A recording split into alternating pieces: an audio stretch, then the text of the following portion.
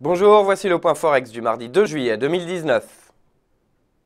Le cours de l'AUD-USD est parti en forte baisse hier sur fond de hausse du dollar américain, mais également par anticipation d'une baisse des taux de la RBA. Graphiquement, le retour sous le seuil psychologique des 0,7 devrait confirmer un retour baissier en direction du support à 0,6943, puis en cas de franchissement de ce dernier, le cours de l'AUD-USD devrait rejoindre l'oblique, situé actuellement à 0,6918. Retrouvez-nous dès 11h pour le Market Live et dès demain pour d'autres analyses.